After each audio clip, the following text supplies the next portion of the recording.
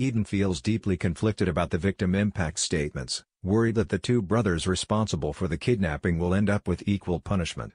Because of this, Eden decides she wants to help Mickey get a lighter sentence. However, Remy is enraged and believes both brothers deserve to pay for what they did.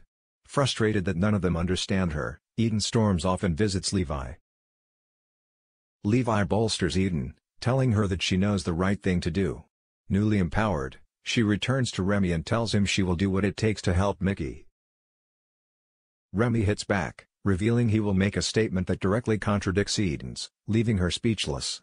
They continue to clash over the situation as Cash throws his support behind Eden. He tells Remy that it's Eden's story and she has just as much right to tell her story as he does. With that, Eden records her statement and hopes that Mickey can one day turn his life around. Hearing this, Remy has a change of heart and says he's not going to stand in her way. Elsewhere, Leah struggles living with Justin again, still afraid of hurting him. She confides in Valerie, who offers to move in with Leah until she's settled. Leah tells Justin, who seems unsure. Justin and Valerie take a walk on the beach to get to know each other better. However, he accidentally triggers Valerie when he asks her how she ended up in the clinic. Later that evening, Valerie seems troubled as she walks along the beach alone.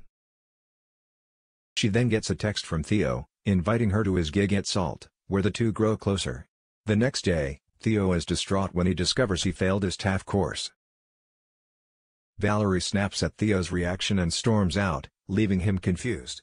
He finds Valerie at the beach and apologizes for complaining when she has her brother on her mind, and she apologizes for invalidating his feelings. Theo pulls her into an embrace as they sit at the beach, and Kirby spots the pair. She asks Theo if they can chat, and he obliges, but things get heated. Theo yells at Kirby before storming off. Valerie sees his distress and offers him something that will help, a pill. Theo hesitates but eventually swallows it. Across the bay, Tane walks in on Molly and Mackenzie's argument, and she tells him about the affair with Levi. Tane's response isn't what Mackenzie wants to hear and she storms out. He later apologizes, admitting that he was projecting his marriage onto her.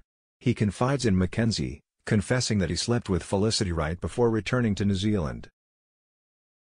Deep in thought, Tane looks like he's about to announce something important, but Mackenzie gets a call from Levi and walks off to take it. Later, Tane tells Molly he's moving back to New Zealand as there is nothing left for him in Summer Bay.